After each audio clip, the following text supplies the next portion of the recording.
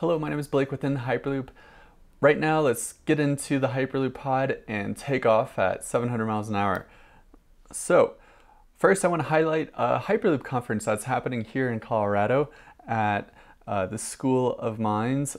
And we are really excited because we'll be there for the cocktail reception the day before the conference. Unfortunately, we have to work, but um, it's a great conference and uh, they are providing a Zoom live webinar for both days. Um, again, it's by the HARP Hyperloop Advanced Research Partnership, a nonprofit. Um, they've had a couple other conferences, one in New York City and one in LA. The overview of the conference um, is some pretty interesting big players. Uh, of note is the U.S. Department of Transportation, a former counselor to the U.S. Department of Transportation, um, and then Bebop from Hyperloop TT, and then Ryan from Transpod, um, the Chief Technology Officer. Um, lots of uh, discussions about right of way. Um, the Colorado Department of Transportation Executive Director uh, Shauna Liu will be there, which is really interesting from a uh, local perspective of what Hyperloop means. And they get into safety and then Hyperloop and human environment. Um, then the next day, physics of Hyperloop, um, active progress, Hyperloop routes, feasibility studies, and reaction. And then making Hyperloop a reality panelists.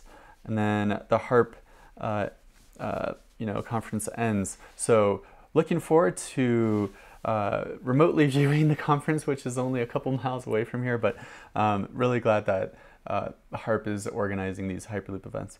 Next, um, Hyperloop Connected, which is a student initiative of Delft Hyperloop um, on bringing the thought pieces and the, the, you know, a lot of interesting articles of what Hyperloop means. They've subdivided it into implementation, pod and vehicle, and infrastructure categories. You can subscribe to their newsletter.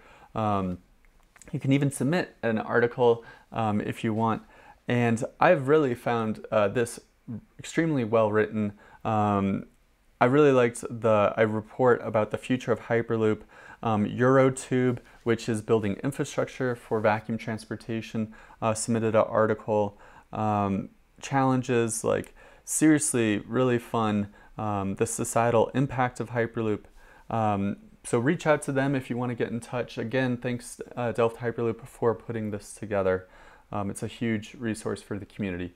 Um, next, we're going to go to SwissPod. They just unveiled uh, promotional video, so let's take a look. When you look at transport today, there's an obvious disconnect.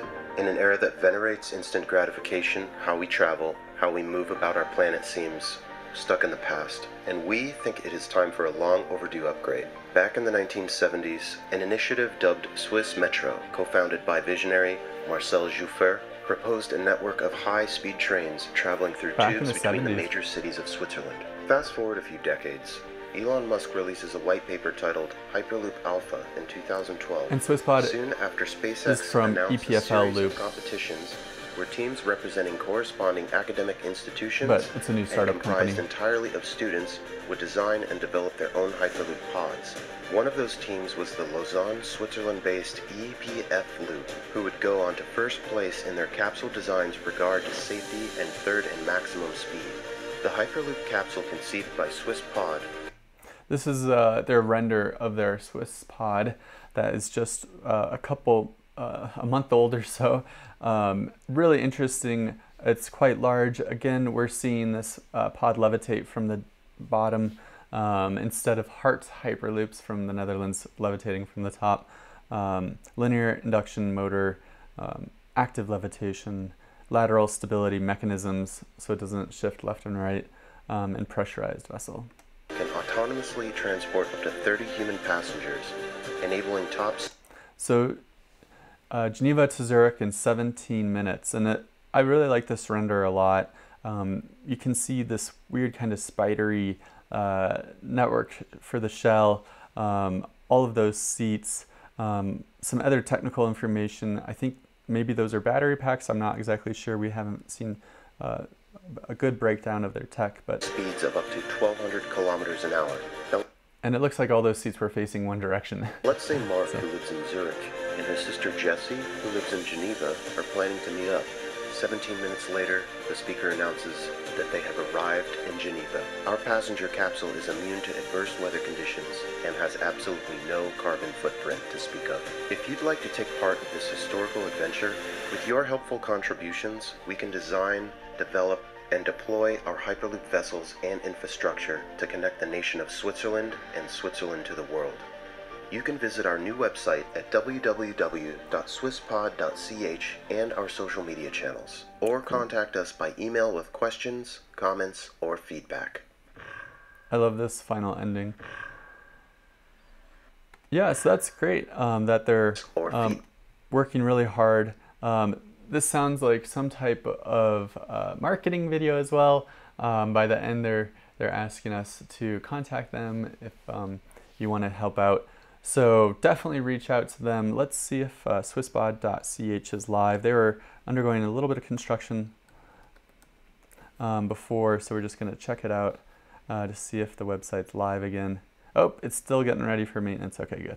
Um, yeah, so good job, SwissPod. Um, now we're going to go to TUM Hyperloop. Um, this is the WARR Hyperloop group that got renamed um, in Munich and this video is of a test track that they've built um, and they've tested their pod. This was just released about four hours ago. Hope you didn't blink.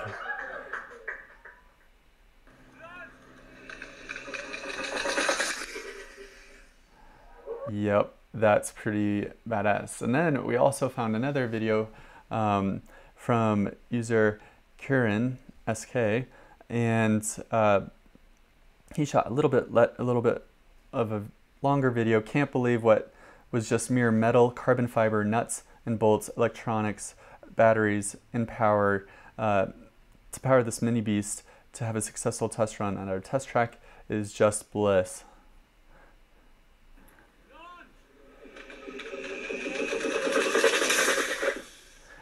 And it stops really fast. I can't believe how fast it was going and then it just stopped. Whoa, that's awesome. So congratulations TUM and thanks for uh, releasing this video and sharing this video on, on so for the world to get excited about your pod. Um, and again, they won pretty much all the uh, SpaceX pod competition events, so looking forward to seeing them. Next is Queen's Hyperloop um, from uh, Toronto. Really exciting. I'm glad that they're still working hard. They've released a new blog post um, on their website here, and I would have you check it out. Give their team some support. Um, they have a nice um, transpod render of the Hyperloop tube going into Toronto, and um, you know, just kind of giving what is Hyperloop, uh, why is it interesting, why is it the next future. Um, so yeah, 80 plus students working. Um, it's really nice to see that they're laying out and thinking about uh, the case for Hyperloop. And yeah, give it a read. Next, uh, we're going to go to Trans or Hyperloop TT. Sorry, um, really interesting in that the uh, uh, Department of Transportation has created a subcommittee um, that we talked about in, a, in our previous video I believe it's called NTT. I'll have to look that up. But um, this subcommittee uh, apparently has toured uh, Hyperloop TT's test track in Toulouse, France, and they got to see the pumping station for uh, their full-scale tube. So that's really interesting that the committee is already going to check out um, different locations that Hyperloop is being built to kind of get a, a uh, an idea, and Mr. Bebop just released this an hour ago of more photos from the meeting.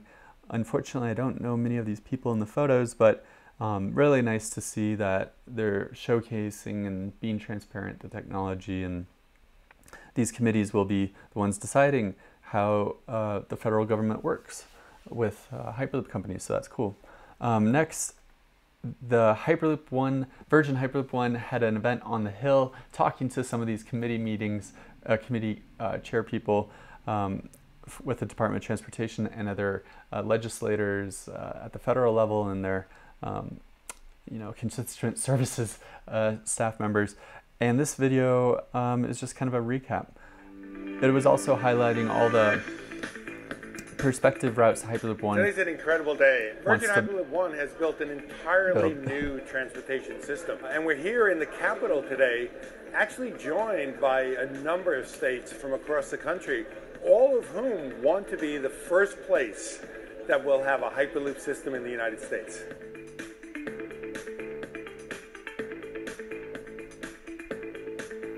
So Chicago, We've already demonstrated that Hyperloop works. Texas, Our Missouri, test facility in Nevada, Nevada. is is functioning. What we're really about now is real projects. We are in Washington, D.C., sharing our Hyperloop corridor of the Midwest uh, with uh, legislators here on Capitol Hill. We're She's with the connecting Mid-Ohio. Chicago to Columbus and Pittsburgh. Within one day's drive time, we reach over 50% of the U.S. and parts of Canada. So imagine what that could do if we had Hyperloop. Cool. And on Virgin Hyperloop One's uh, YouTube channel, there was uh, some further information, so go check it out. And that concludes uh, today's In the Hyperloop uh, News Pod. Um, feel free to reach out if you're liking these or um, if you want uh, to share a news story um, or if you have any other comments, so stay in the loop.